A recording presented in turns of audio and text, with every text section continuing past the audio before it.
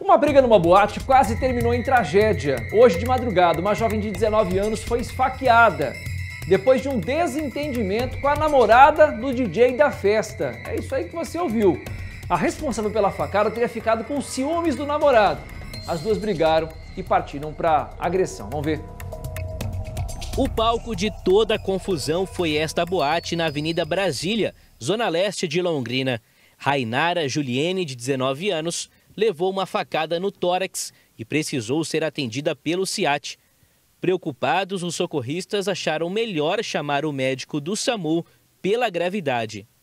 Chegando lá na ambulância, a gente verificou então que era um ferimento forte contuso ali em abdômen direito, mas é, de superficial, nada profundo, sinais estáveis então não oferecia nenhum risco ali de momento, a gente trouxe para o hospital para dar o segmento, o atendimento para ela. Segundo a polícia, tudo aconteceu por ciúmes.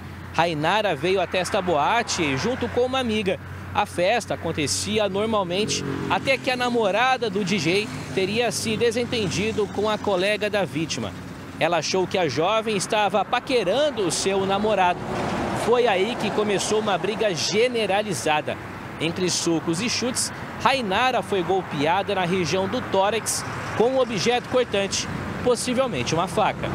Mesmo sangrando, a moça ainda encontrou forças para pedir ajuda fora da boate. Ela relatou que houve um desentendimento dentro da boate, promovido por causa do DJ, entre seus amigos e até mesmo suspeita-se da namorada desse DJ. Essa moça teria sido agredida e saiu para fora para buscar ajuda. Foram acionadas as equipes do CIAT e do SAMU, que estiveram no local e providenciaram o encaminhamento dessa jovem.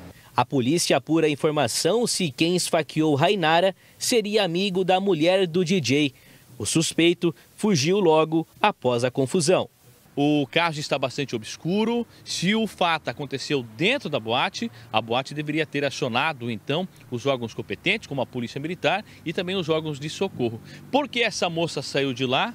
Se ela sofreu as agressões dentro dessa boate, ela deveria ter aguardado lá e prestado todas as informações necessárias. Então, muitas questões surgem e somente assim que ela receber a alta médica, deve buscar as providências da Polícia Judiciária para que esses fatos sejam esclarecidos. Então, na hora, muita confusão, é, poucas informações sendo repassadas para a Polícia Militar, mas a prioridade era prestar o socorro a ela naquele momento.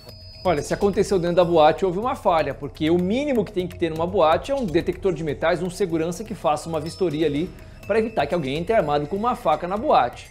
Agora, justifica alguém porque está mexendo com a outra tomar uma facada? Pelo amor de Deus, a paciência foi embora faz tempo, hein? 1h35,